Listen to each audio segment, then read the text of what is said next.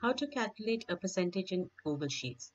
Google Sheets is frequently used for arithmetic operations because it makes it it's very easy to do simple calculations and create complex formulas.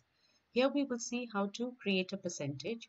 I have a table where I want to get the cost percentage, that is what percentage the cost is of the price. So for that, I first have to divide the cost by the price. I do that by typing equals, selecting cost, divided by price and then pressing enter. Now this gives me the ratio which I need to convert into percentage. So for this I select the cell and go to the toolbar and here I have an option to format it as percent. So I click that and I've got the percentage over here. I can then drag this formula down to the rest of the cells. And here I have the percentages.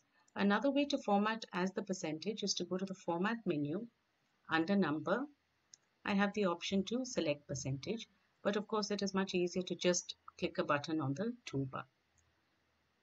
So this is how to calculate a percentage in Google Sheets. Please read the appended article for more information.